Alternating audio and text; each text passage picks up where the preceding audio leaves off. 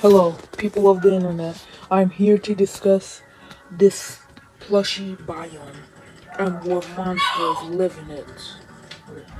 So first, the first monsters are the plushies, but they're positive, so not in COVID deaths, I'm kidding.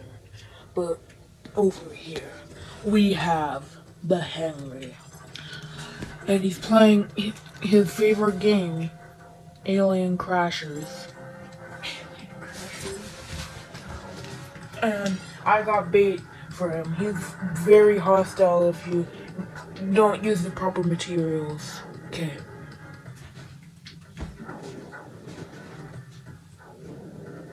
Oh, where did he go? Oh no.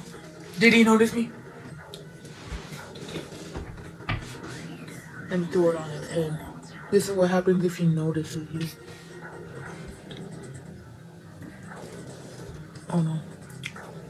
Look behind you. Monster.